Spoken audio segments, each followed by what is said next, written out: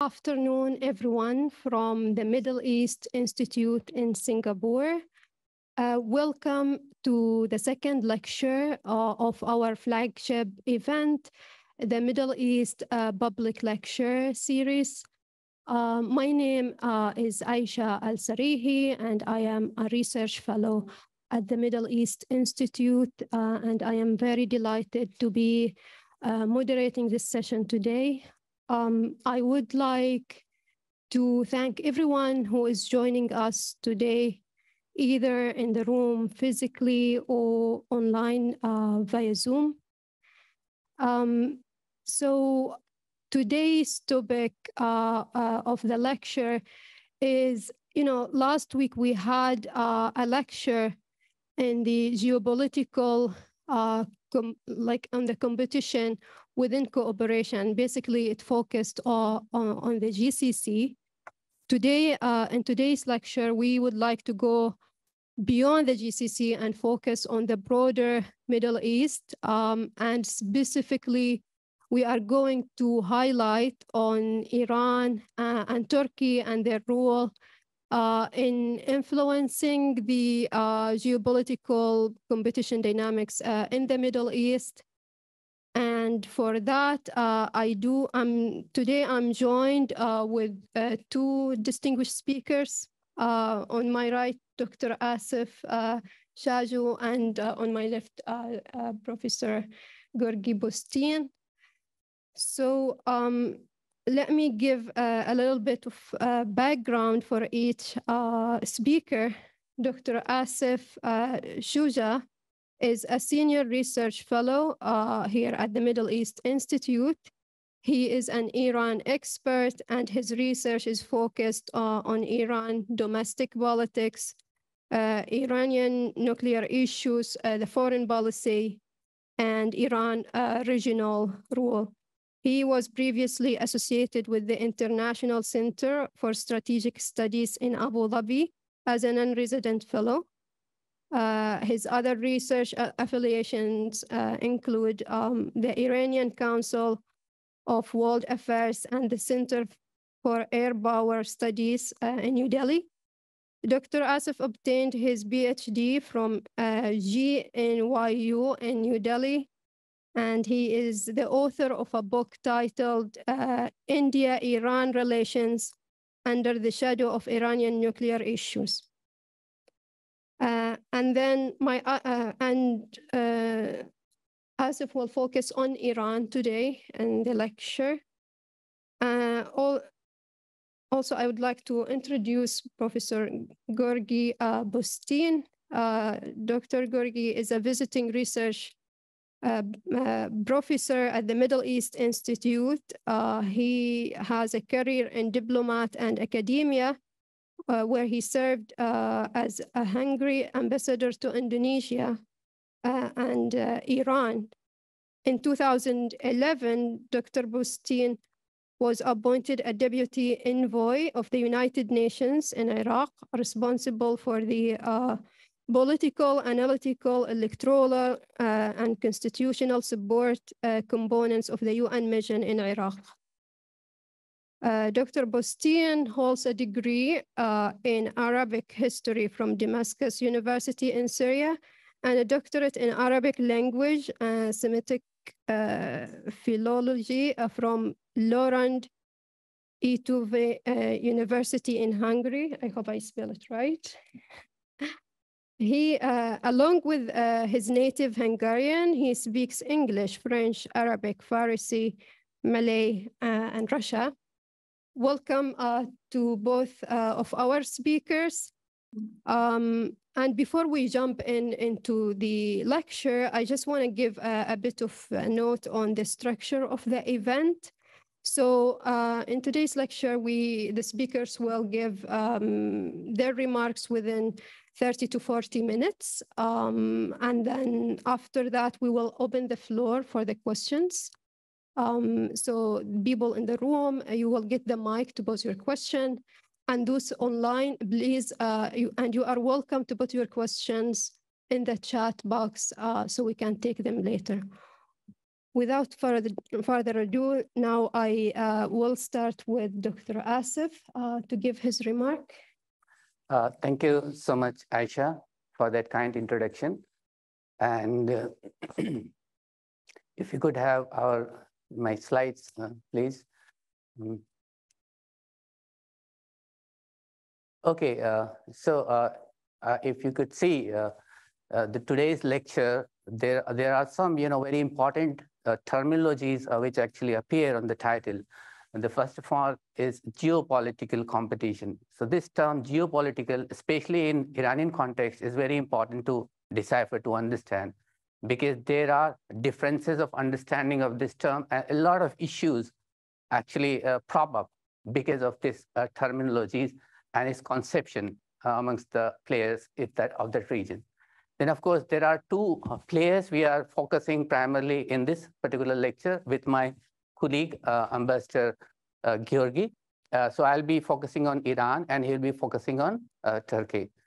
So we, the dimension that we have uh, chosen to take in this talk is we have been looking at the regional system of Middle East and we shall be exploring whether these two powers have been the spoiler of the system or not.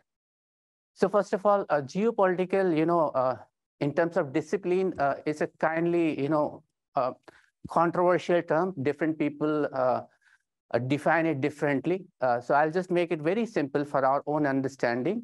Uh, let us just treat it as a, a synonym of uh, international politics. Okay, uh, because in reality, it started with that form of politics among states where the geography is involved and involved a lot.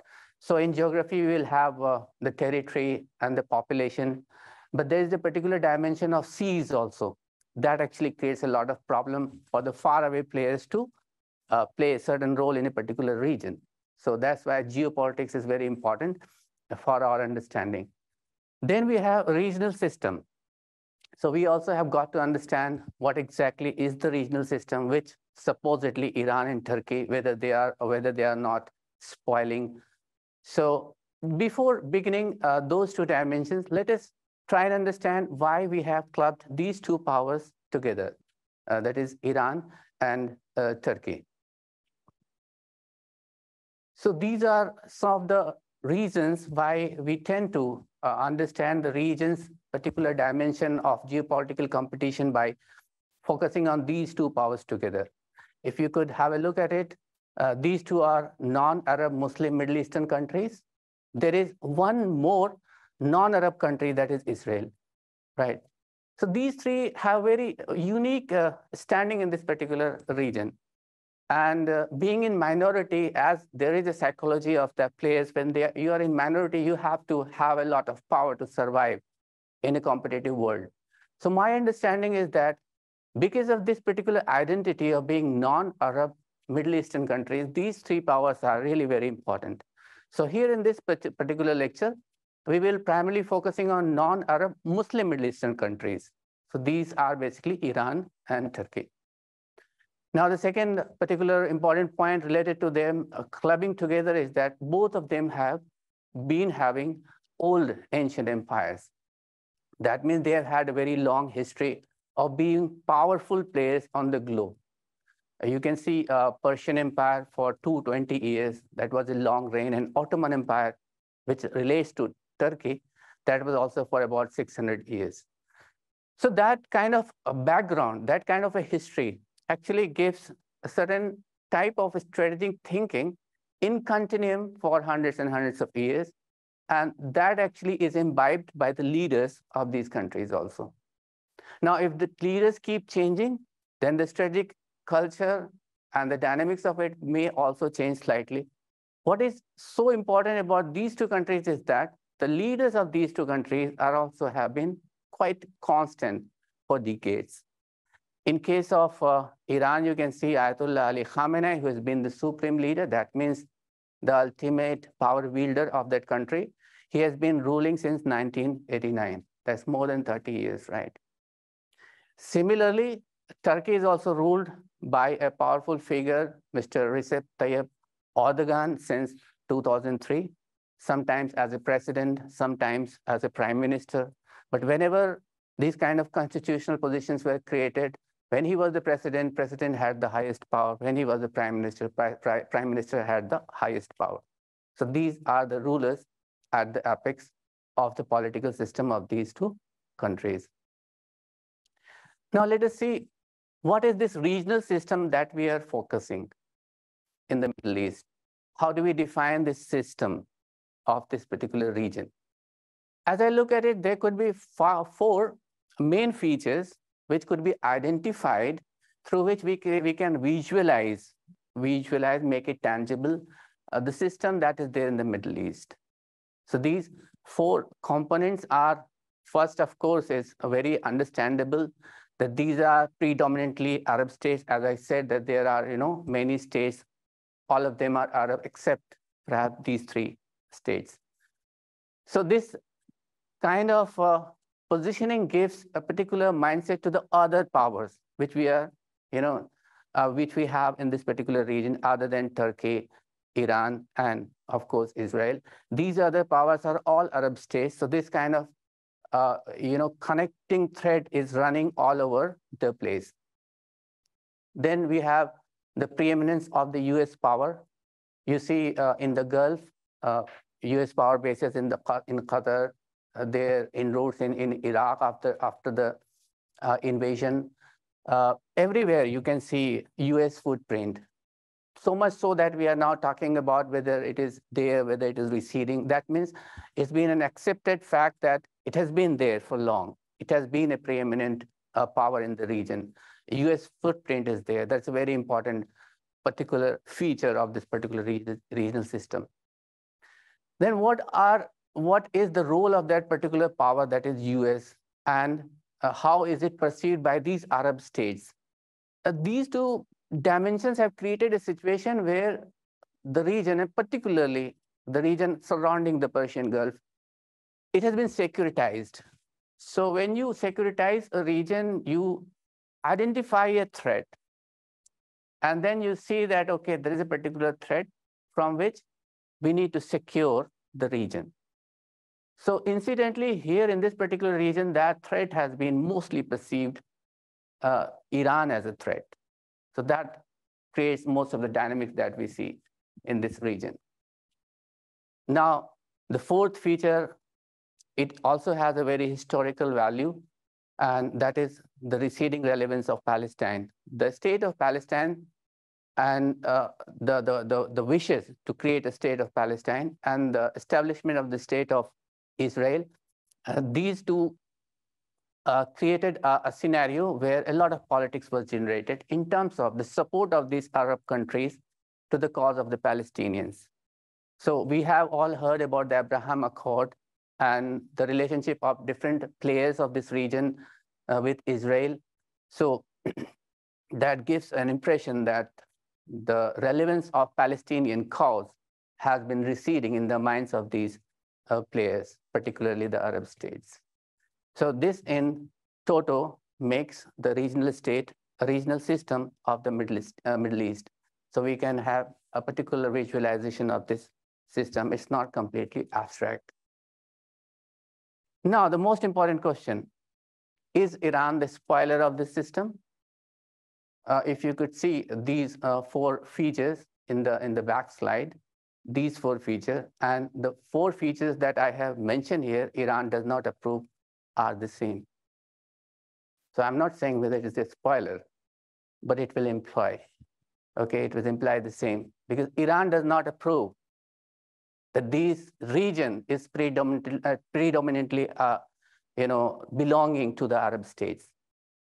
One example is that the, the Persian Gulf, the, the, the Gulf that in, in general we talk about which is surrounded by eight states, six countries of GCC, Iran and Iraq. There's a lot of a struggle between the Arab states and Iran, whether to call it the Persian Gulf or whether to call it uh, the Arab Gulf. Iran says, me too, manham. In Persian, it says that I am also there, I am also present. Let us count me as well. That is the whole uh, crux of the fight that is happening in that region. So Iran crushes this notion that this region is predominantly belonging to the Arab states. Now, preeminence of the US power, this is where this, this notion of geopolitics is very important. Iran says that this is our region. So the regional issues should be solved by the regional players. And the geopolitics of this region is the concern of the players of this region. But the US says the sea is also there included in the geopolitics. So I can go into the high seas and reach up to the shore as far as it is international waters. This is where you see all of conflicts.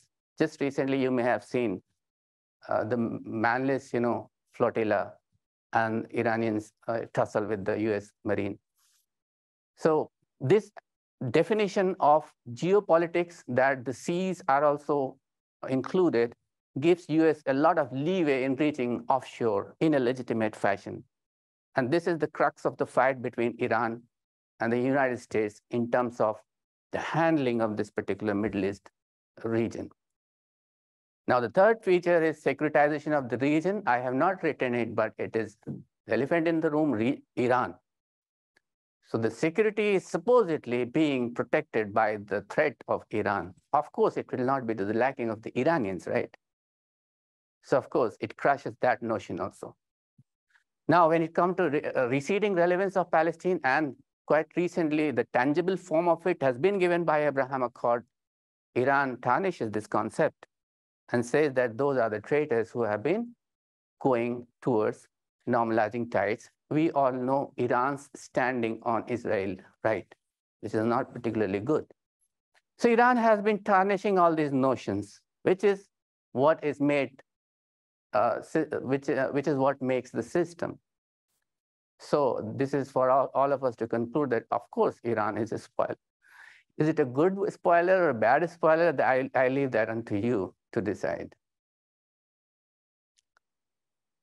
Now that was understanding the whole region in terms of these four features, which is a reductionist approach to understand in our research field. But of course, there are many, many other variables. Uh, so these are some more variables through which we can understand the changing dynamics. So there is a system which I said that is constituted by these four features. And there is a power that is Iran, as I said, has been challenging that. So of course, there are some changes ha happening, right? So this is a list of those changes.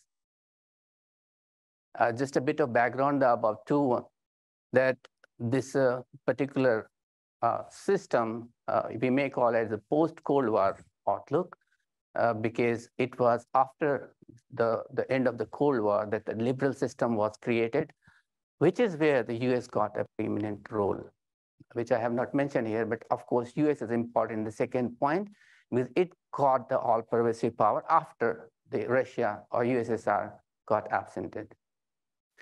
Now, in terms of the changing dynamic, we see these are the keywords we always hear or read about them in the newspapers. Those events, which is Gulf War, in fact, two of them, then the Arab Spring happened, then conflicts in Syria, Yemen, and Libya, I've just mentioned them because of the paucity of time, but you can understand that Iran is involved in many of these uh, issues, or is being discussed as part, of, as part of many of these issues. So we'll have to look in these broader issues, what exactly is the role of Iran. Some of them uh, give you the impression that Iran has been challenging this system. now we see that, uh, and we talk about US receding role from the Middle East. So that is the most important change that has happened. So uh, there are some skeptics, they think that no, it's not changing its role, or there are some who say that, yes, it is changing. Uh, I see there's a very important uh, cause for US to change its role. Even if I say that it's not completely withdrawing, there's a very important factor, that is the US shale gas revolution.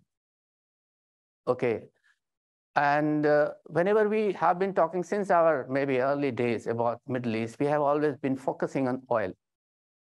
So it's very understandable the US is interested in the region for oil. So if, if it has more of it of its own, then it is very commonsensical that it will have less and less interest. So that's why this important point, the US gas revolution has been making some changes in terms of US behavior in the region. And that will have the reciprocal behavior in terms of the behavior of Saudi Arabia, which has been an ally of US, uh, Qatar, and of course, Iran, which has been making, having an enmity relationship of enmity. Then there are some other uh, uh, pointers like Iraq and Afghanistan wars that happened that made a lot of changes. As far as Iran is important, uh, as far as Iran is concerned, these two events were epochal in nature in, in, in, in Iranian history because one is these two are two sides of Iran, right? So US has been coming closer to the border of Iran. That was very important for Iran, these two events. So it devised its own strategy to counter that particular fix in which it found itself. Okay. And then later on, as I said, the shale gas revolution in this both both regions, now US has been trying to withdraw. Okay. And of course, one reason attached to it is its policy of pivot to Asia, because US now sees that oil is not as majorly a reason for me to be embedded in that region as the challenger of my superpower position, that is China. So it's been uh, shifting. It's been long that it's been trying, but it was quite entangled in that region since Obama time, it, it, uh, US was trying. Now it's going further ahead with that policy. So its resources are limited, so it has to recalibrate its resources. Okay, so the next point is also related, the US withdrawal of Afghanistan, and of course, decreasing footprints. These are all good for, for Iran, right? And uh, if you see that uh, the US uh, withdrawal or US change in policy in the Middle East is not happening in isolation. Uh, whenever you read about JCPOA or Iran nuclear deal, Iranian nuclear negotiation, uh, the Iranian nuclear talks started with the US uh, at the time when it had paused its pivot to Asia policy. So these two are linked. And these two are, again, commonsensical that US is very powerful, but still it has finite resources. So it has been trying to lessen its burden in the Middle East by having some kind of, you know, uh, some improvement in the relationship with, with Iran, uh, with which it is entangled at many uh, junctures. So that is how Iranian nuclear talks started. And uh, then again, there was domestic politics in US, which derailed that particular scheme. And now it has been revived under uh, President Biden. So whenever we read about JCPOA, it's all linked with this changing dynamics it's not only about nuclear non-proliferation. It's about the geopolitics of the Middle East. It's about this changing dynamics. And of course, the underlying factor here for US as a matter of concern is that there are two powers, China and Russia, which have been challenging its preeminent position, right? Russia, Henry Kissinger has said that uh, even if after the dissolution of USSR, we must take Russia seriously. Nobody heard him. Now they are hearing him. okay, that Russia is preeminent power. But yes, in the national security strategy documents in the US, the US has always maintained that, uh, and uh, in last uh, few years, it has been uh, writing that these two are revisionist powers. Okay, so if I write an article, somebody revises it, I may not like it. So this is the draft template of the regional system that has been written by the US. So somebody is revising it. These Russia and China are revising. They wouldn't like it. Okay. So how much of it, uh, how much of the revision would US like to go? That is important to understand. And that is a changing uh, dynamic, you know, that's in flux.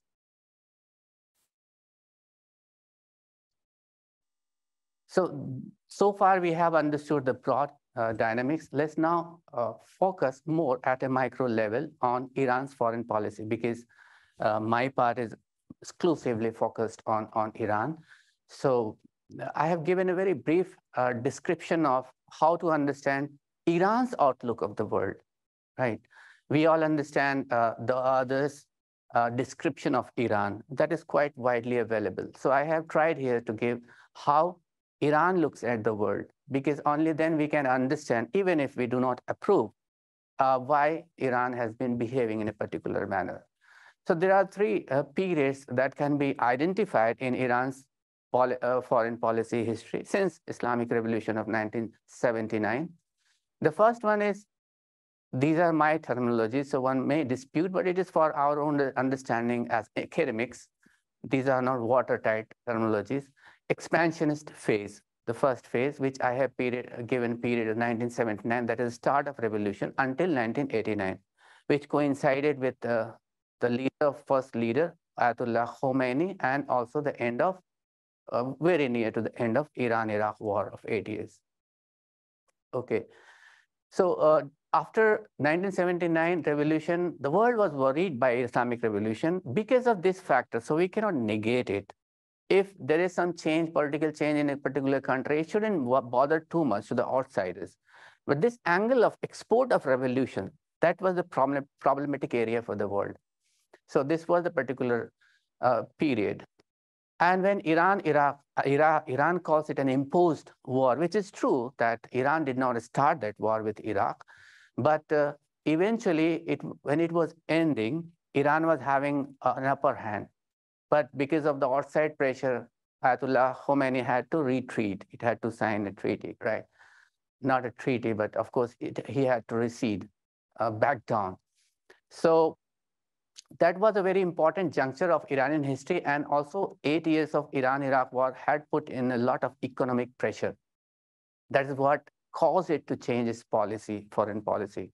That's what I call a period of restraint, 89 to 2001. So we don't see much happening in terms of you know international uh, relations. Uh, just the effect of Iran, Iraq. So a lot of domestic churning happening. Khomeini's death happened, and then the transition of the leadership happened. Mr. Khamenei, uh, Ayatollah Khamenei came. Then this period ended with again uh, a world-renowned event of 9-11, that is September 11 uh, uh, terrorist attacks on the United States, which brought US fully into the region. Okay, so after that, uh, uh, Iran has slight cooperation because they, they were the Sunni, you know, uh, people who were the perpetrators. So a Shia state, Iran, Iran was seen as slightly, you know, helpful. So in Afghanistan, Iran and US did cooperate briefly.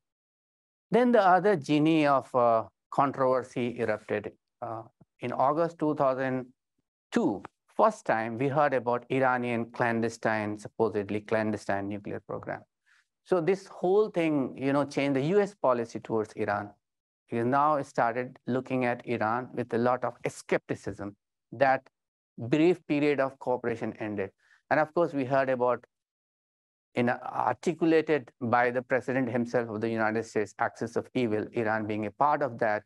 Okay, then later on, attack on Afghanistan, Iraq, as I said, it happened.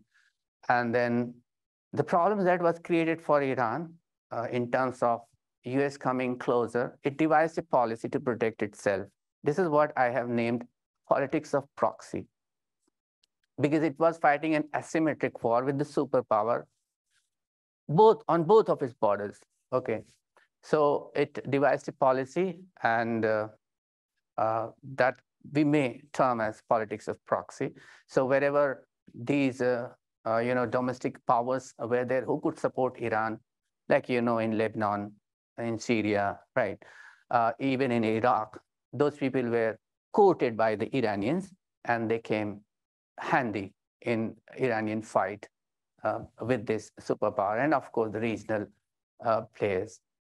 And there are two, just to mention and give it a complete look, uh, Arab Spring and the phenomenon of ISIS, which again uh, has, a, a, I mean, where again, Iran has a lot of uh, role to play because these are linked with Syria, you know, and US fight against terrorism. Then there's one final point that I have mentioned, which is evolving in nature, Ukraine-Russia war and JCPOA. I have mentioned a little bit about JCPOA, but Ukraine-Russia war, these are important because we have heard about some reports about Iran supplying, you know, drones to Russia. So we have to keep watching uh, these issues, how Iran behaves and what will be the implication. So the next two slides are simply backgrounder uh, of my next speaker's talk, just to uh, attach these two uh, countries together, Iran-Turkey relations. So he will be getting into the uh, the, the, politics uh, uh, of of it in, in in depth. So these are some of the uh, you know points of convergence between Iran and Turkey. You can have a look at it. They are both a neighbor state. It's important. Uh, there is a lot of uh, cautious approach in terms of the dealing because they have been competing on various platforms and they are also cooperating. So it's again not a watertight compartment. They have deep, because they are neighbors, deep trading investment relations. On Palestinian issue, some sort of convergence is there. And uh, Kurdish uh, issue is very important because of uh, Turkey's uh, territorial integrity. So there also they have some kind of uh, cooperation. This last slide, and that is uh, the points of divergences. Uh, the energy uh, is, is one important factor because uh, the transportation, Turkey wants to play an important role. Iran is a major player already. So the next is uh, the Arab Spring and the aftermath of it, the changes that is happening in the social and political field. They have some divergences of opinion. Of course, because of their internal you know, uh, or in internal um, uh, reasons. Then, of course, regional Shia-Sunni tension that is happening there, um, Turkey doesn't see as in its own interest. Of course, it wouldn't. Then the Turkish, you know, the terrorist groups that has been uh, coming up, uh, how to fight with them. So there are internal dynamics. So these are the some some of the. So with this, I uh, thank you all for being a patient a listener. I hope I have been uh, able to clarify some of the notions related to Iran. Now I hand over the talk to my uh, colleague, uh, George. Thank you.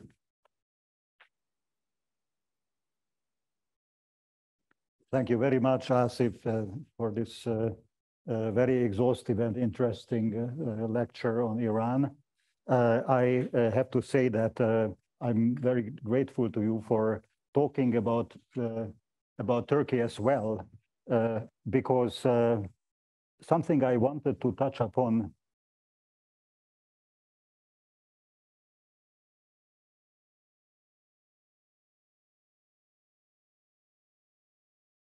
um, Turkey is in many ways historically tied to Iran. Um, I would wish only to say that uh, every great empire has its uh, uh, heyday, its um, most opulent period in history. For Iran, this was in antiquity, because as we know, Iran's greatness has uh, at least temporarily diminished with the Arab conquest. Uh, Iran uh, became uh, a constituent of first the Umayyad and the Abbasid Empire. And then after the Mongol conquest, it remained dormant as an independent political force until the arrival of the Safavids, who turned Iran again into a great power. However, this was also in conjunction with Turkey, and let me talk about this in some detail. But first, let's have a look at the map of Turkey, because it's very instructive to look at uh, how uh, Turkey's uh, geopolitical position has determined its policies uh, both in the, uh, in the times of empire and uh, in the times of republic. What is a given is that Turkey straddles two continents, and it's in this sense it is a very unique country. I, there are very few countries that lie on two continents, if, if any.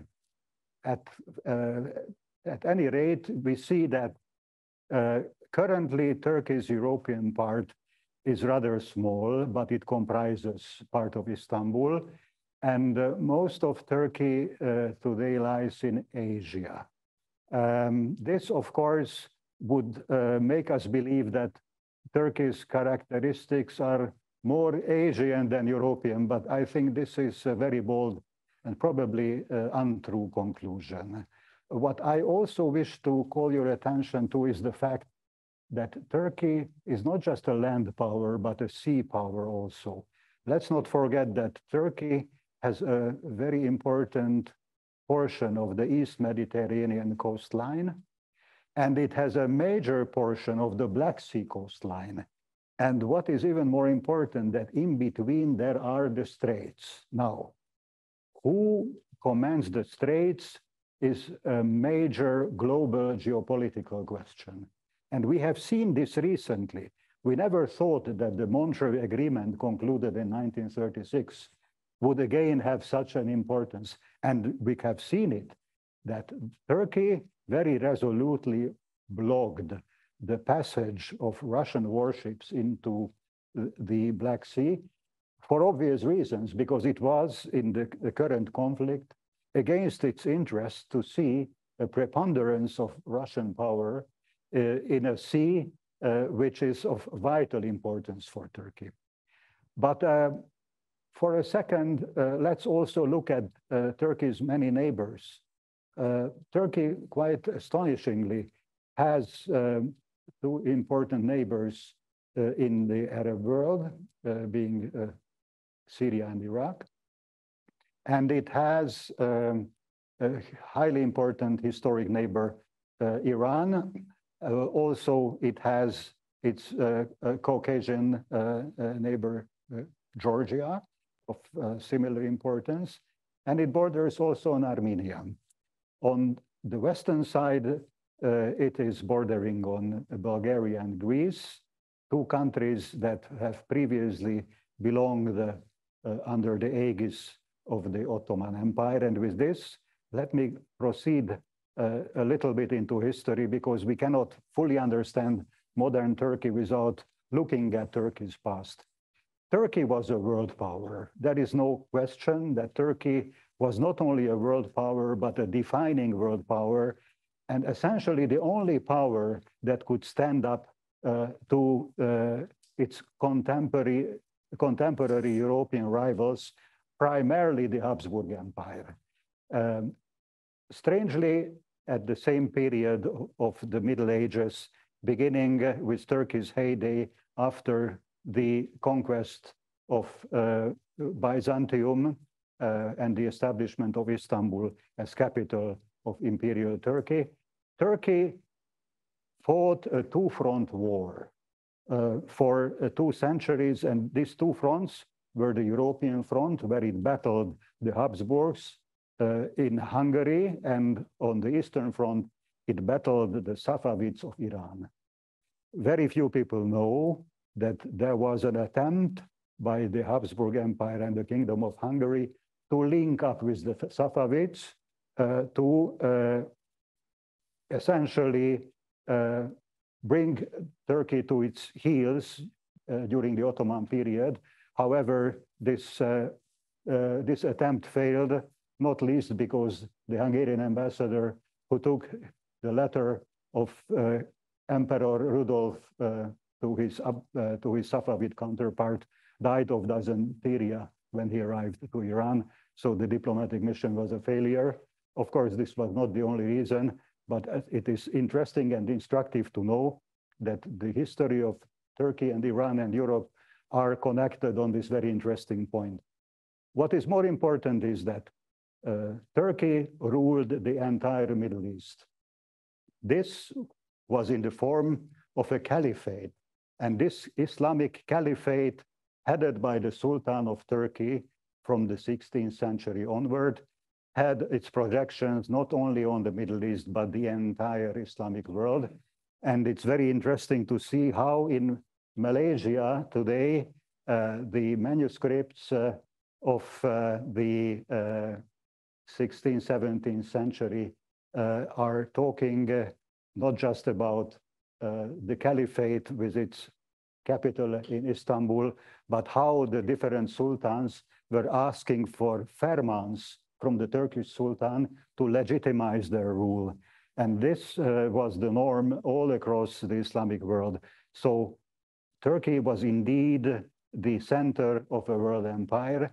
And uh, this, of course, until today, uh, put its mark on Turkey's politics. The First World War uh, came with a major shock for Turkey because uh, it, to its great misfortune, allied with the Central Powers. And uh, uh, the end of the war not only saw Turkey as a loser of the war, but it had to suffer major uh, uh, defeat at the hands of Allied armies, which not only satisfied themselves with a battlefield victory, but tried to dismantle Turkey as a country. Uh, they succeeded only to the extent of separating Turkey from its former Arab realm. We are well aware that the so-called Arab revolt instigated by uh, uh, Lawrence uh, and the British Foreign and Commonwealth Office succeeded in turning the Arab powers of the day against Turkey. And Turkey remained alone and had to cope with a very difficult situation of economic collapse and uncertainty after the First World War. And had it not been for this gentleman in the picture, Mustafa Kemal Atatürk, a genius officer of the uh, Turkish army and a great patriot, Turkey would have perhaps uh, shrunk to uh, being a small state in uh, Anatolia. Um, however, uh, Ataturk, together with a dedicated number of his fellow army officers, turned the tide, uh, stopped the, the Allied forces, conquered them, and in the process, re-established Turkey as a modern state. Turkey has undergone uh, sweeping reforms at the hand of Mustafa Kemal Atatürk. As it is said, Atatürk single-handedly pulled uh, Turkey into the 20th, 20th century from the Middle Ages. He made the Latin script mandatory instead of the Arabic script. He uh, ended the dervish orders. He mandated the wearing of uh, uh, Western clothing, and he modernized the Turkish language. For your information, the Turkish court until uh, the uh, 19th century spoke Persian because Persian was the language of culture and uh, refinement uh, in uh, that part of the world uh, during the Middle Ages. So Turkey has seen a real renaissance under Atatürk uh, and strengthened its position after the First World War, uh, be, became recognized, widely recognized as a middle power, and made the extremely wise decision of staying away from the Second World War, uh, saving itself another catastrophe. After the Second World War, Turkey has joined the Western Alliance, not least because it has perceived the threat of the Soviet Union as an existential threat. And with Turkey becoming a member of NATO, its political trajectory was, of course, uh, drawn up. And I have to say that uh, Turkey's NATO membership until today, regardless of uh, some twists and turns, is the defining characteristics of Turkish foreign policy. Uh, enter um, the new age uh, with uh, the arrival of um, uh, um, very interesting and dynamic phase of Turkish modernization. Uh, Turkey has uh, very strenuously labored to catch up with the industrialized Western countries, and in the process has attained important successes. Evidently, Turkey, as a key NATO country, uh, was very strongly influenced by its army. The army was a core player in Turkish politics. And uh, uh, to the extent that not only it uh, seated and unseated prime ministers, but for a brief period, even the army seized political power in Turkey. Uh, this, however, uh, soon ended, and Turkey gradually became an established uh, parliamentary democracy. it has attained amazing progress in its economy, and it has become a major power uh, in its region of the world. Uh, I have to say that the Turkish modernization, strange enough, ran parallel with the Iranian modernization. And for your information, Mustafa Kemal Atatürk and Reza Shah of Iran were close friends. And they had very similar concepts about modernization.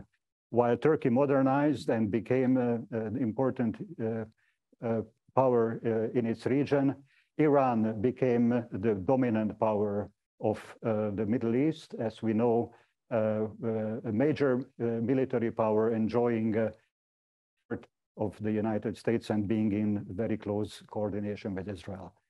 However, uh, changes in Turkey also occurred. Um, the role of the army was slowly diminished and uh, civilian politics took the reign. Um, this has, of course, uh, made Turkey more and more covetous of becoming a fully recognized European country.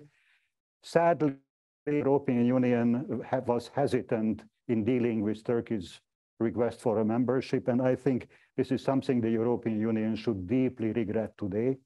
However, uh, Turkey, uh, after being uh, on several occasions um, refused or delayed in its membership quest, decided to go it alone. Turkish modernization took very bold turns, and Turkey, relying on its own power, uh, on its uh, inventiveness, and also on its very close ties uh, with uh, those uh, rich Arab countries that proved to be major source of foreign direct investment, has made amazing strides in modernization.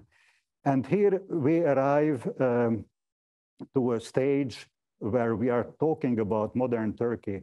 Uh, I think uh, if uh, Turkey of the Reform Age was defined by Mustafa Kemal Atatürk, uh, then we can safely say that the Turkey of uh, modernity is defined by another politician, uh, Mr. Recep Tayyip Erdogan. Mr. Erdogan has risen to prominence after being the mayor of Istanbul, and his party, the AK party, AK means white in um, uh, Turkish as a reference to the party's uh, integrity. Uh, uh after many uh, uh, affairs of corruption before in Turkish politics, this Justice and Development Party espoused policy of modernization, but not necessarily on strictly European, Western European principles, but um, heavily reliant on Turkey's imperial tradition and heavily reliant on uh, Turkey's Islamic tradition. This uh, combination uh, brought to Turkey uh, the uh, accusation, quote unquote, of being neo-Ottoman power. I think uh, it's very difficult to judge this definition. What is beyond any doubt is that Turkey tries to find solace and energy in its Ottoman past. How did uh, the uh, government, uh, rather governments headed consecutively by Mr. Erdogan and his AK party, deal with Turkey's environment? This is the next stage of what I want to talk to you about. Evidently, uh, Turkey's major uh, adversary uh, since its NATO membership was um, the Soviet bloc with the demise of the Soviet Union, priorities have changed. Turkey has become uh, more concerned about its neighborhood other than Russia, and therefore it looked uh, uh, more closely at its Middle Eastern environment. This is the time when Turkey initiated the so-called zero problems with neighbors policy. This was a very intelligent transactional policy uh, under the aegis of Mr. Erdogan and uh, um, um, essentially uh, also um, executed by foreign minister and then prime minister Davutoglu, a very, very highly talented uh, and respected diplomat. Zero problem with neighbors was uh, a success because it not only eliminated frictions with Turkey's southern neighborhood, primarily Syria, Iraq, uh, uh, and uh, to some extent, those countries of the Gulf that uh, may, may have been uh, less intent to do business with Turkey, but also brought in very significant investment from the Gulf countries. We uh, might have forgotten that Turkey was a major contributor to Gulf modernization, Turkish labor was very significant contributor to the construction of the Gulf. Um, Turkey's uh, policy had a lot of dividends, but it was untenable due to the dramatic changes that happened in the Middle East. And at the uh, moment when the so-called Arab Spring uh, has uh, appeared on the horizon, Turkey had to reconsider whether it can really protect its national security and interest within the confines of the zero problem with neighbors policy. Of course, it could not. I will jump a few um, a few slides. Uh, I wanted to show you a portrait of Mr. Erdogan, and uh, subsequently we arrive to the Syrian Spring, a major shock for Turkey because uh, after a period when it saw its neighborhood stable, suddenly it confronted a totally different and new situation, which was a national security threat to Turkey and also uh, boded ill for Turkey's plans to involve uh, more closely Arab economies in its dealings. Um, this uh, very tragic situation in Turkey, uh, in uh, Syria, has prompted Turkey to stand behind uh, the revolution. And of course, the consequence was the souring and then the break-off of relations with Damascus. A similar and uh, oh, similarly dramatic turn of events came around when Egypt rose against President Mubarak and uh, Turkey again uh, decided to uh, ride with the tide and was sympathetic to the Egyptian revolution and even more sympathetic to the arrival of um, government uh, headed by Mr. Morsi, a member of the Muslim Brotherhood, whose philosophy of power and of the future of not just Egypt, but the Islamic world was very close to the philosophy of Mr. Erdogan and the AK party. Um, similarly, Turkey was uh, in a difficult situation to decide how to proceed on Libya. I have mentioned that Turkey is a Mediterranean power. What happens in the Mediterranean will inevitably concern the security of Turkey. And because of Libya's very unique position, uh, not just as uh, one of the uh, countries of the Mediterranean with the longest coastline, but also as a major energy source. Uh, Turkey saw its interest to uh, side with the uh, government of Tripoli after Gaddafi's fall, which had a markedly Islamist trend. Some called it a Muslim Brotherhood government, which is, I think, uh, uh, an overshoot. However, it was and it remains to be a government uh, very closely tied to political Islam. Turkey invested energy and invested military force in protecting this government against uh, an onslaught of its rivals who were uh, strictly opposed to political Islam and wanted to unite the country under the aegis uh, of the eastern side of Libya, uh, which is uh, Cyrenaica. This situation in Libya has finally broke the camel's back and confronted Turkey with its rivals in the Arab world, Saudi Arabia and the United Arab Emirates, who were stringently refusing uh, to see a political Islam coming to power anywhere. This very interesting situation, of course, also applied to other players in the Gulf, and uh, Turkey sought a natural alliance with the only country at the time among the Gulf nations that openly espoused political Islam, Qatar. Of course, uh, when uh, push came to shove and uh, Qatar came under uh, blockade by Saudi Arabia and the United Arab Emirates for its consistent support of political Islam, Turkey stood behind Qatar to the extent of uh, positioning a, a, military base in the country.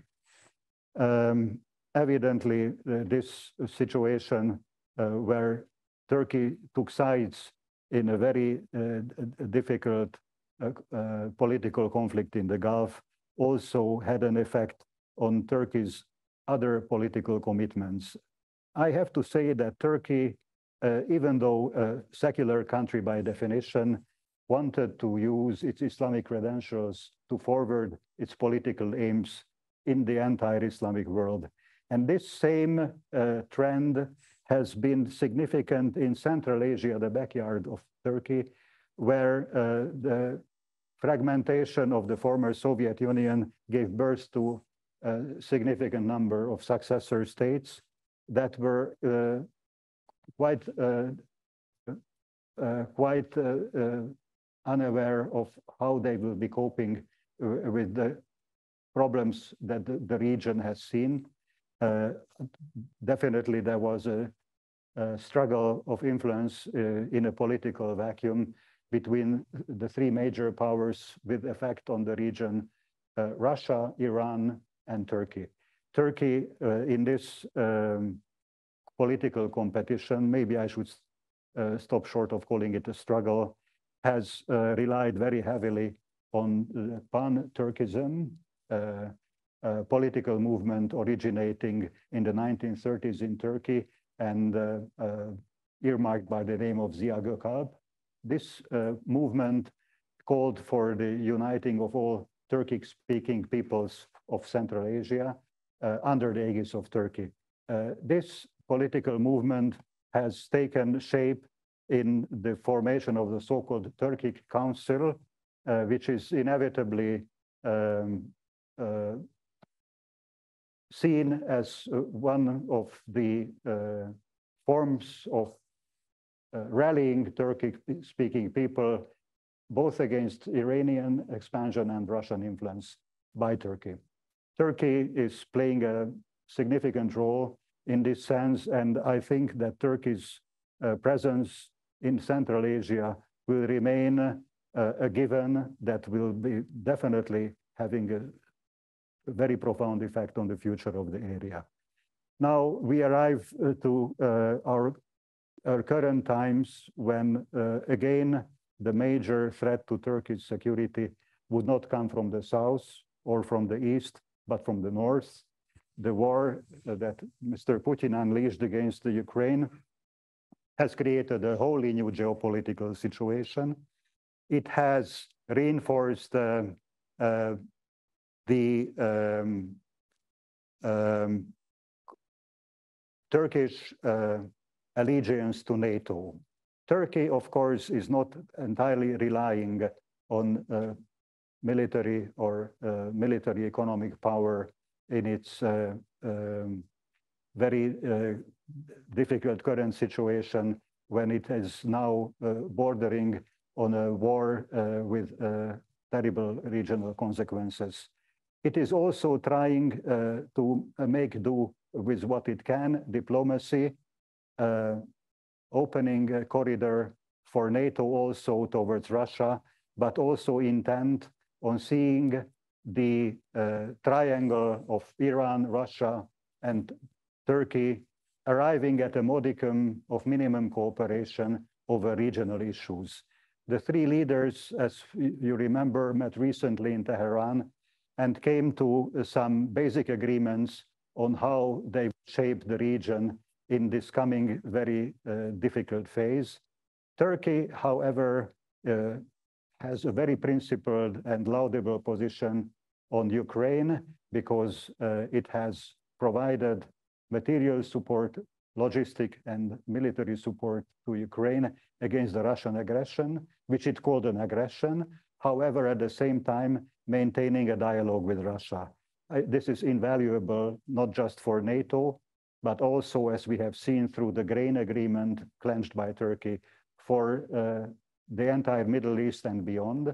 Uh, I have to say that this merits to be mentioned as one of the major foreign policy successes of Turkey. And I have to say that it's also a major humanitarian contribution, uh, which uh, has to be recognized. Uh, I think we arrived uh, to uh, one very important point. I wanted to show you the picture of the Turkic summit, which was held in Istanbul. Uh, and I have to again uh, go back to history for a second when I talk about the very difficult relationship between Russia and Turkey.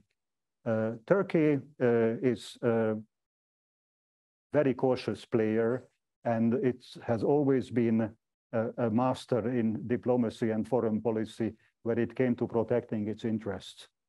This uh, poster I have found uh, depicting a very interesting uh, situation uh, during the First World War when Russia was willing to occupy Istanbul, uh, reestablish its hold over the entirety of the Balkans, and um, uh, essentially uh, make Turkey a secondary power, which it has failed to do.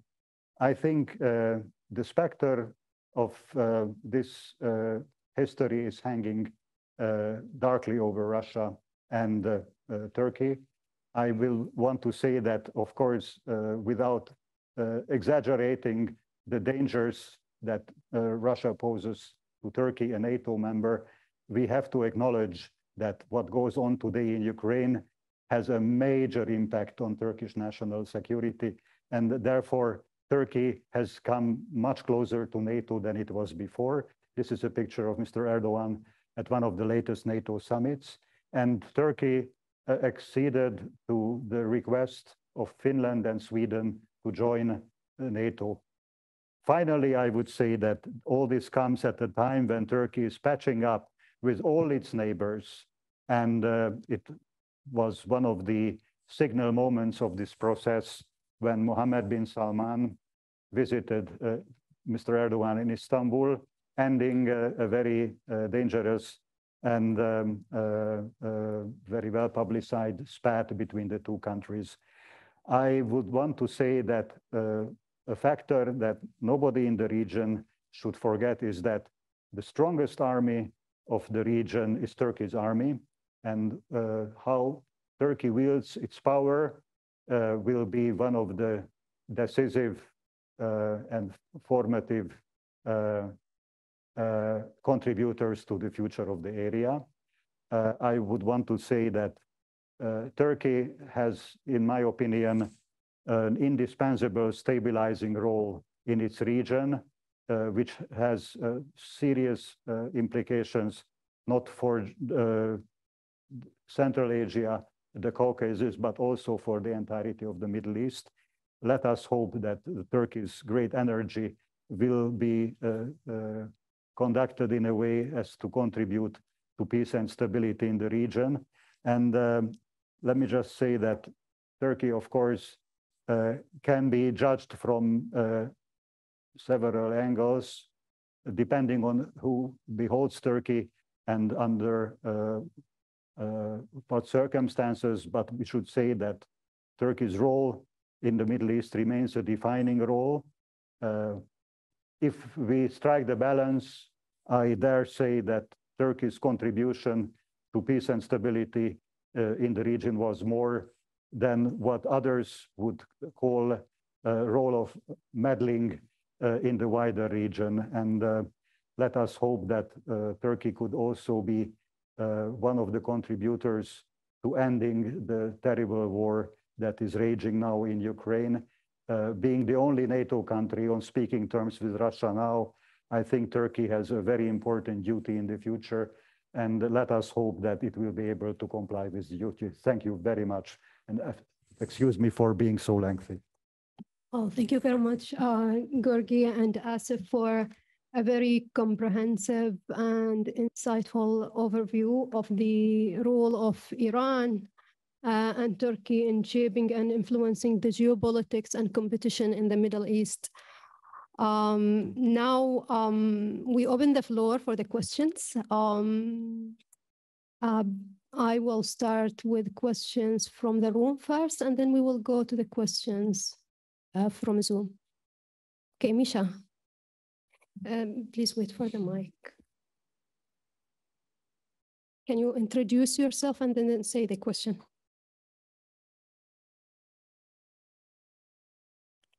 Hello, I'm Misha. Thank you so much for your question. I was going to ask about Soleimani's uh, assassination. Did it have any kind of long-term effect on uh, Iran's military leadership and in how they saw their ability to defend themselves and their country against foreign aggression. Shall we take another question and then? Well, thank you, Misha. Um, do we have another question? Jean-Loup, please.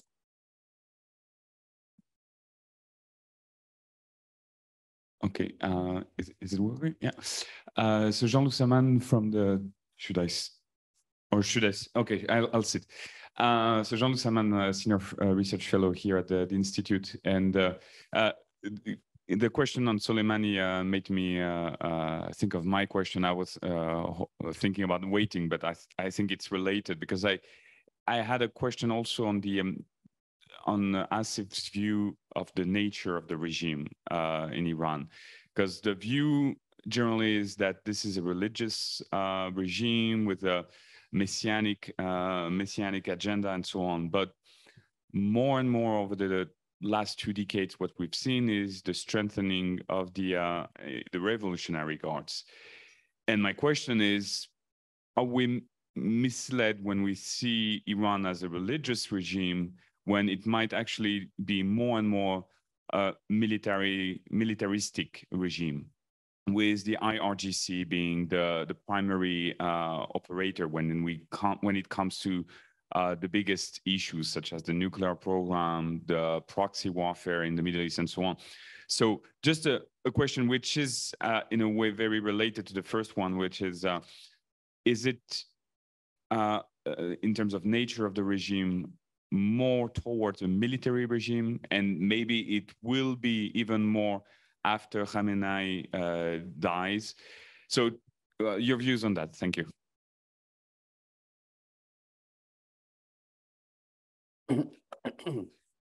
okay, first your question about, uh, although both are related, but specifically uh, about what you asked. Uh, see, uh, Iran has never trusted the United States, right? So uh, there have been uh, uh historical reasons, uh, and which has actually helped Iranian Iranian uh, you know government or its leaders to emphatically convince their own population that the foreign policy that they have been pursuing, there's a reason behind that. Okay, Qasem Soleimani actually that helped Ayatollah Khamenei in proving that point. Because, uh, see, uh, Arab Spring, uh, sorry, ISIS, the phenomenon of ISIS, that is very important in June uh, 2014 uh, when, uh, when, when it started. they, you know, declared the caliphate. So it's a Sunni regime which is going to topple the whole of the world. I mean, this was the, the fear so in this, the Sunni uh, rule amongst the, in the scheme of Sunni uh, rulers, what is the position of the Shia population? So it was not only ISIS phenomena was not only a threat for the rulers of Iran, it was uh, a threat uh, to the population, the whole of population. Uh, during the time of ISIS, before that, the Iranian people would chant on the streets of Tehran uh, Marg Bar America, Marg Bar uh, Israel, you know. Uh, since 2014, they, the chant changed completely. They would chant Marg Bar Daesh, that is ISIS. It became a bigger threat than, than Israel and the US. Now, uh, General Qasem Soleimani was seen, and actually he played a very important role in suppressing that phenomena that is, is right. So uh, uh, because of the proxy or the extraterritorial uh, uh, activities that Iran had, he was on the front of it. So the Iran, Iran, uh, the play, the role that it played, he was on the front, right? So uh, he was also positively seen by the people, not the way President Trump had been been looking at it. So his killing was a, a big mistake, uh, political mistake on parts of the United States. Uh, it, it showed uh, uh, uh less understanding of the Iranian polity. Uh, he was a man, but he was holding a position. It further strengthened IRGC. Now I'll come to my to your question. What is IRGC? in the whole scheme of Iranian political system, IRGC is not uh, an army of the state, it's the army of the supreme leader. There's a duality in Iran of everything. It is Islamic and Republic, right? it's, it's script you can see. It's like Arabic script, but Persian language, you know. Um, the Nowruz is the most important uh, festival, but it's an Islamic state. Similarly, it has a dual system of um, military also. One that is Artesh, which is the traditional military, which is supposed to defend the territory of Iran. The other is IRGC. You know, it is supposed to primarily uh, defend. How, how, how I say that uh, the ruler, because it is supposed to protect the Islamic revolution, okay, uh, which is uh, what is, uh, you know, mm, uh, protected by the supreme leader. So indirectly, it's actually protecting the ruler of Iran.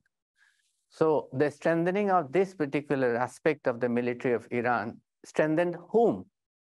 The, the leader, the ruler of Iran. It was a mistake. We can see again, uh, as I said about the finite resources, everything is not finite, but the resources are finite. Iran, again, the economic constraint that it has domestically, especially because of sanctions.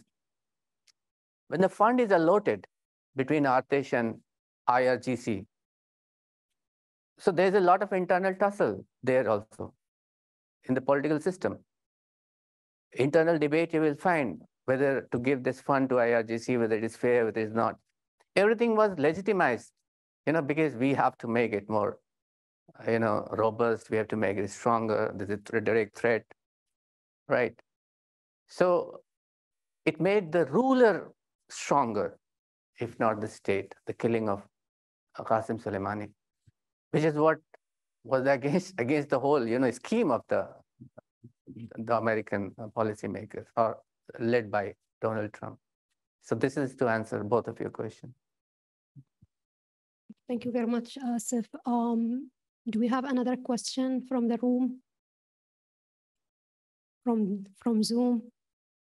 I would like to make a comment. Okay, please. Uh, My short comment is an apology because I realized that during my narrative, I did not use the proper name for Turkey, which is Türkiye.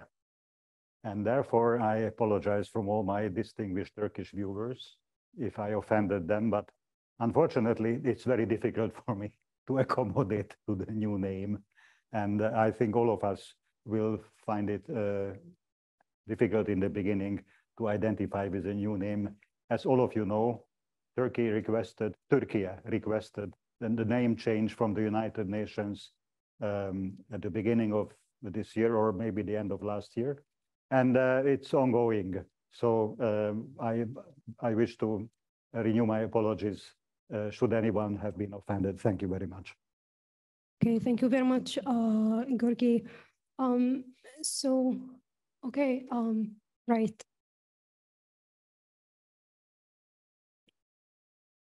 Can you introduce yourself, please? Hi. Uh, my name is Iftekharul Bashar. I'm from RSIS. My question to uh, Dr. Shuja is uh, um, we often hear that there is a nexus between Al Qaeda and Iran uh, in a sense that uh, Iran has sheltered some of its leaders. And also, uh, Iran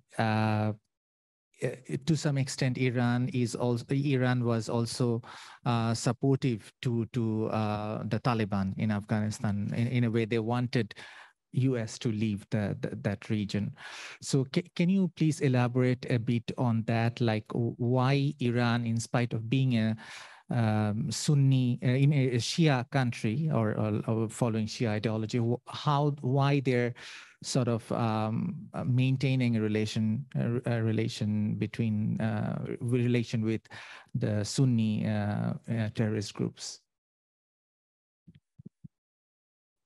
Uh, thank you so much uh, for your question. Uh, again, it uh, brings us all in the realm of the politics of proxy that I had mentioned in my presentation. And uh, Iran did because uh, the Sunni doctrines that was espoused by Taliban or, you know, Al-Qaeda, that was quite in antagonism with what the Shia people, you know, um, stand for. So it was a very natural thing that Shia Iran would be an enemy to that particular uh, you know force. Uh, but that's all always you know calculated in the interest broader aspect of interest of this state.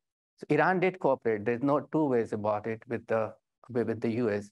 But after this nuclear genie came up, then the axis of evil expression came up, and the U.S. withdrew uh, with that.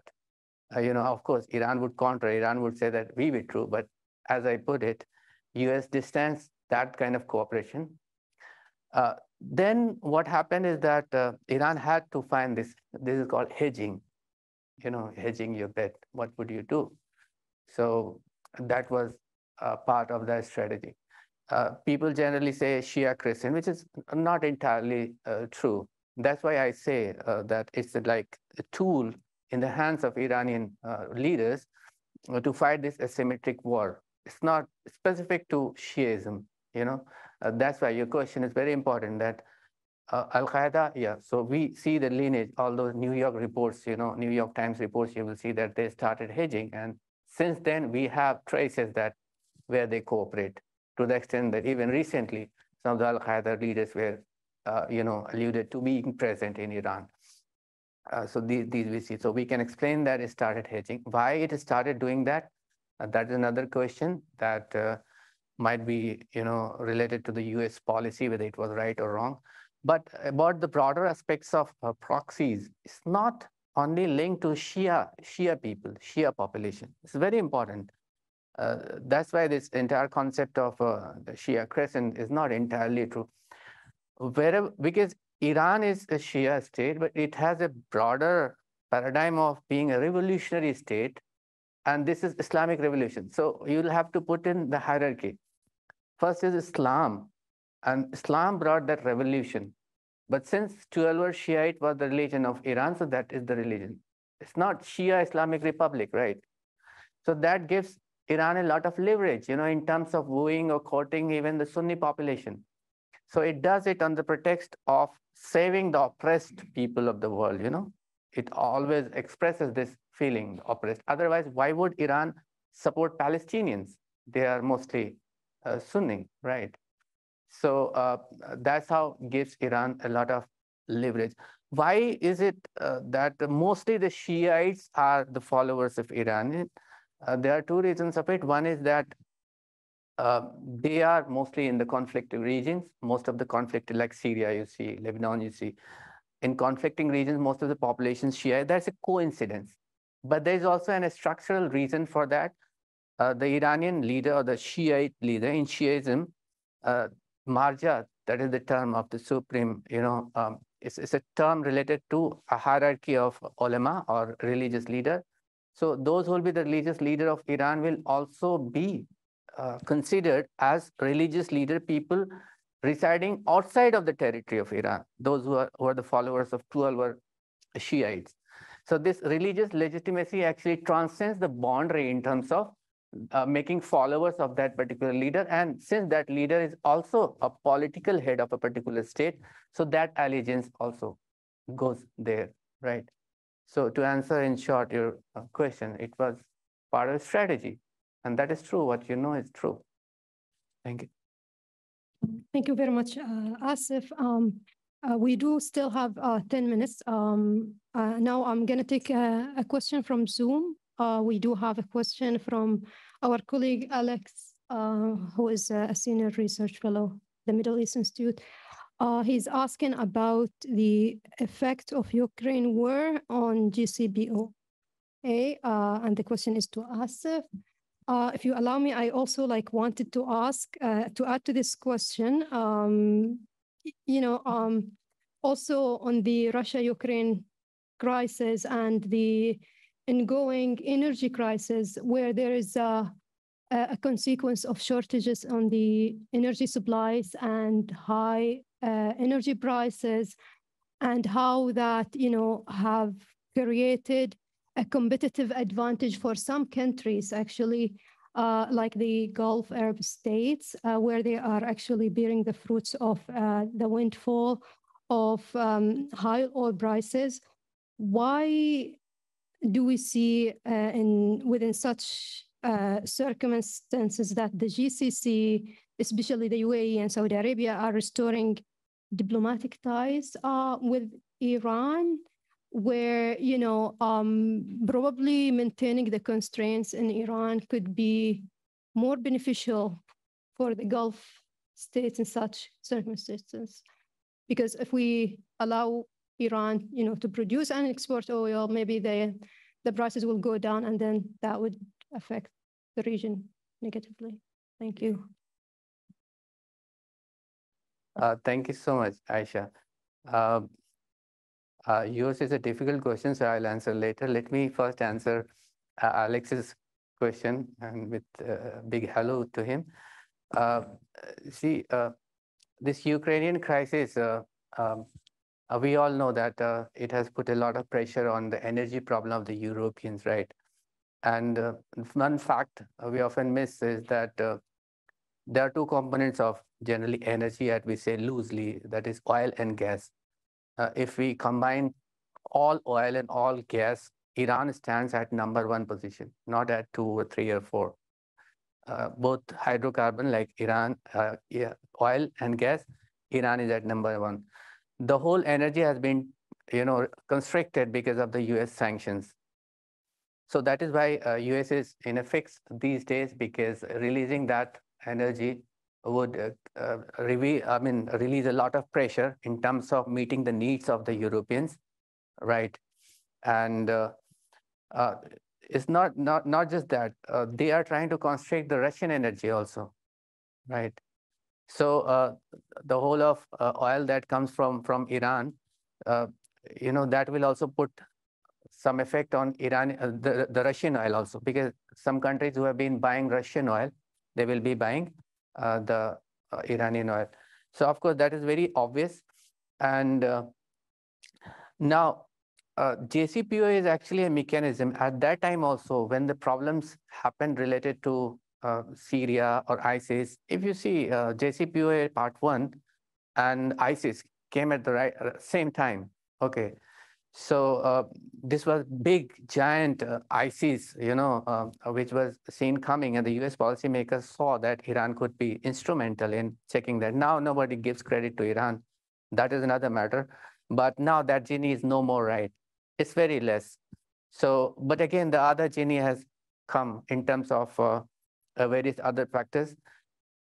And major factor of it is the revisionist powers, you know, uh, China, and, and Russia. That's why US wants to withdraw from that region and wants to lessen its burden. So it wants to befriend or at least lessen its conflict with, Iran. So JCPOA, as Alex asked, is that vehicle through which US policymakers can do that. That is why all of the happenings that are taking place in JCPOA are linked to that. It makes a lot of strategic uh, uh, and economic rationale, but it does have problem, uh, have two cons.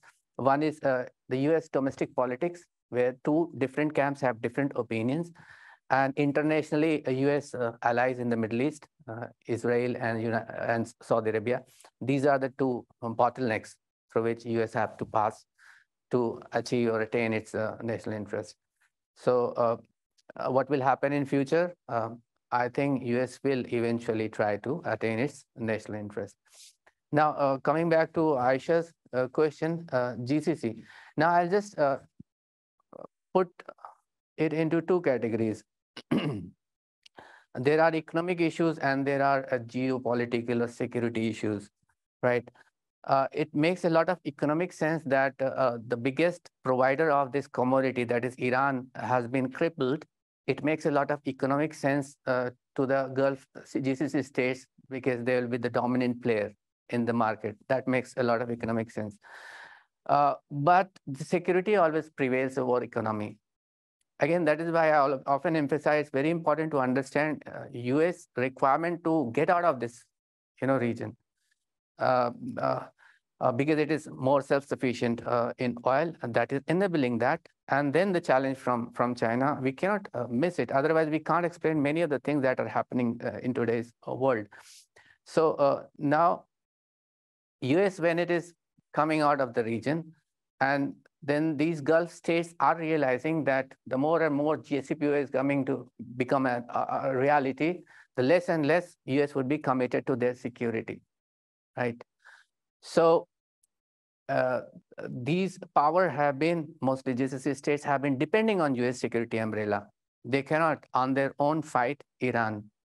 So if they see that that is receding, the best way to lessen that threat is by befriend the enemy or the potential enemy. That is why we see UAE ambassadors, you know, uh, Bahrain, uh, Saudi Arabia, all those powers. It's not that the Cupid has been floating in the air all of a sudden. Is that a strategic reason that there's less dependence or less, less guarantee of the US aid coming? So the Abqaiq, uh, when you saw the attack on the Saudi oil installations, and even Donald Trump, which was supposed to be so friendly with the with MBS, uh, even he said we would, you know, need to be paid for the the the the military, uh, you know. So uh, you see on, on both counts, Republican and Democrats, because it's, it's in U.S. national interest. How they will achieve it, of course, they will be navigating through those domestic uh, interests also. So to answer in short Aisha's uh, question, uh, uh, security um, uh, issue will prevail over the economic issue. So they are trying to be fair, and that's a good, wise move, you know. Hmm. Thank you. Thank you very much, Asif. Um, since we don't have another question, I do have another question, and this also builds on security and also uh, given my background uh, on climate change uh, affairs, um, I, I also, I build on the point where you mentioned we see convergence and divergence between Iran and Turkey. So for the Middle East, the Middle East is uh, one of the most water stressed regions uh, in the world. Um, and what makes um, the situation more challenging that most of the water uh, is shared between countries. So there's a transboundary water management um, um, issue. Uh, and I can give uh, an example um, of the, you know, um, the Euphrates uh, River actually originates from Turkey and then it goes to Syria uh, until it arrives uh, to Iraq. And then Tigris River originates from Iran and then it goes to Turkey. Um, there was, um, you know, most recently we also like uh, heard about the dust storms uh, in the region, and then there was this incident where Iran was uh, blaming Turkey for the dust storms, uh, uh, uh, where Turkey is building an ambitious dam, and the Iranian officials claim that the dam is actually leading to drought in Iraq, and then uh, therefore um, triggering the dust storms to happen. Um, so, and then also, György, you mentioned that uh, the uh, the Syrian Spring uh, actually creates a, a, national security threat for uh, Turkey. Um, so, I think my question is: um, Are we going to see from climate change point of view more of a cooperation or conflict between Turkey and Iran and within the Middle East in general? Uh, thank you, Aisha. Uh, see, uh, when we talk about the, the climate change, it's like uh, the ghost which is at a far, far away uh, distance. So uh, normally it's not easy to cooperate on those realms immediately. Uh, but there are some instances where see uh, uh, the ghost is quite near, like in terms of Iraq and uh, what she mentioned about the sandstorm. Uh, Iraq and Iran have been cooperating. in fact, there is not much coverage in, in, in the press of that kind of cooperation. but they are very intensively cooperating. This is one of the best examples of the regional cooperation that Iran and Iraq have been cooperating on the problems emanating from that storm. Uh, in terms of water also, um, again, uh, you mentioned about Al-Qaeda, Taliban. Uh, this uh, water coming from uh, uh, Afghanistan has a lot of implication on the water system of, of Iran, you know. So um, very important re reason for the two countries to come together, you know. uh, now again, uh, how much of it will be linked to the security aspect or the ideological aspect and how much to the day-to-day -day life. So uh, that is uh, a lot uh, linked. So these uh, issues do play a very important role. but when multilateral organizations or you know many countries get involved, then a lot of politics, international politics also come into play. So at bilateral level, countries are definitely cooperating in terms of Turkey and Iraq and uh, you know the water uh, system. I would like to uh, request uh, my colleague György to uh, you know uh, focus some light, including on the previous question of energy about which you are so sentimental. I would like you to add on the energy crisis in caused by Ukraine and Russia war. If you could please add on to these two points. Thank you. Thank you. I first about water because uh, you are right, Aisha, this is becoming one of the major environmental and security issues in the region. And nothing illustrates this better than uh, tragically what we see today in Iraq, which cannot be separated, is the question of resources. A very rich country, uh, which is struggling to provide basic services to its population, uh, most importantly, to provide them water. And of course, um, the blame game is ongoing. Um, I have to say that certainly the upstream countries, both Iran and Turkey, have a major responsibility in how many uh, million cubic meters would reach the downstream countries. But this cannot be separated from the intelligent use of water, of creating the infrastructure and uh, um, the public awareness about the use of water, which guarantees optimum results. Iraq has lost uh, uh, area over the Shatt al-Arab, which uh, was called the marshland of uh, Iraq, first due to the policies of Saddam Hussein, who wanted to eradicate resistance in the, in the marshlands and uh, dry the area. Then after Saddam has uh, been done away with, the region was rehabilitated somehow, but now it is facing a catastrophic drought again. And this is uh, certainly due partly to the bad management of resources. I do not want to be unfair to those who are responsible for this in Iraq, but we have to acknowledge that a country in turmoil, as it is now in Iraq, has major difficulty in addressing a complex issue like the issue of water. Here also we have to speak very honestly about the role of Iran, because much as Turkey is struggling to provide the agreed share of water uh, to Iraq, uh, Iran has simply and curtly blocked entire rivers from flowing into Iraq. And uh, this, of course, has to do also with water management issues in Iran.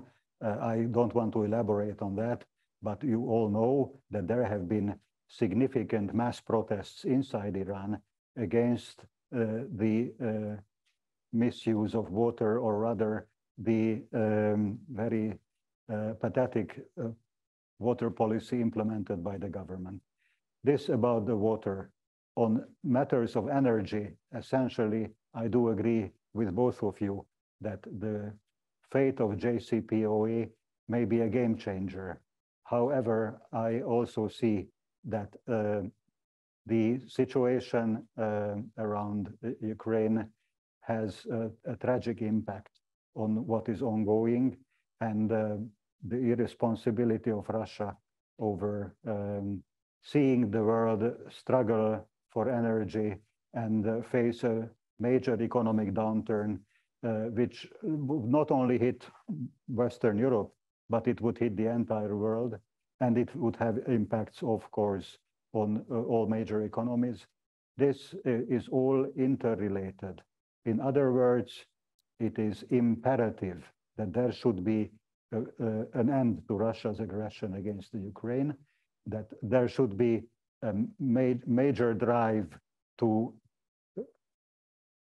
revert Russia to reason if this is if, if this is possible. I have to say that the demise of Mr. Gorbachev yesterday was a very sad, tragic, historic milestone because we have seen how he was a paragon of opening up Russia to the world and how his labor of a life came to a, a tragic uh, uh, and undeserved end uh, under the current circumstances. And Russia is closing again on itself and causing enormous harm to itself and to the world because the world without Russia is, uh, is losing Russia. And this is a major loss. We should not forget Russia is not about economy only. Russia is about culture, a piece of civilization. And Russia has been a part of uh, everything that ongoes, that is ongoing in international politics and a permanent member of the United uh, uh, of, of the Security Council of the United Nations. So I am hopeful that not only Turkey, which is a key conduit to Russia, but also finally the major Middle Eastern countries will be uh, forthcoming and will be using their influence on Russia to change its mind and to seek an end to its aggression against Ukraine. I, I have no other word for it. It's an aggression, clear-cut aggression. And we need to make sure that this comes to an end for the benefit of the entire world. Okay, thank you very much, György and Asif. Um, it is five past six, so I uh, we will end up here. I would like to thank uh, our speakers for their time um, and interactive engagement uh, uh, and discussion. Thank you very much, uh, Asif and György, uh, for today. And thanks to everyone who joined us for this webinar. Uh, with that, uh, have a good evening. And yes, uh, uh, a reminder, next week we will also continue with the discussion on the geopolitical uh, uh, competition in the Middle East, and the focus will be in the US. And for that, we have our research senior research fellow, Jean-Loup, who will deliver the lecture. So please join us next week as well. And thank you very much.